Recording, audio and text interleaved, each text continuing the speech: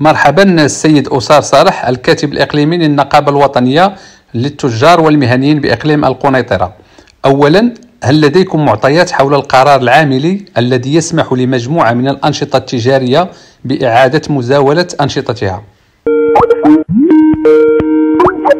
بسم الله الرحمن الرحيم بالنسبة للمعطيات اللي عندنا لحد هاد الساعة هذه هي بأن لجنة اليقظة التابعة للعمالة ديال مدينة القنيطرة دارت واحد الاجتماع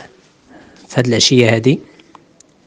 وهذا الاجتماع كما هو معروف بأن السلطات الوطنية عطات آه غادية باش تعطي صلاحيات العملات والولايات باش دير الإجراءات الخاصة بها على حسب كل عمالة شحال فيها ديال الحالات وشنو الحالة ديالها على مستوى الاحترام ديال ديال الحظر الصحي.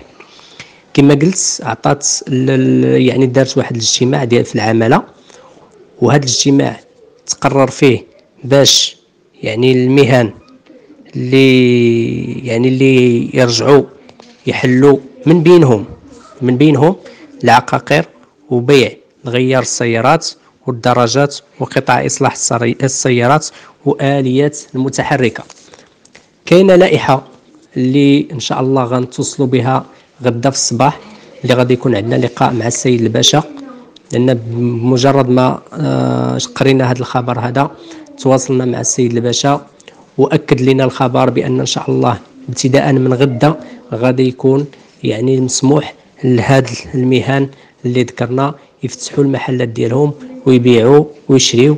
آه، في حدود ديك الوقيته اللي مسموح بها وطنيا هي الخمسة العشية.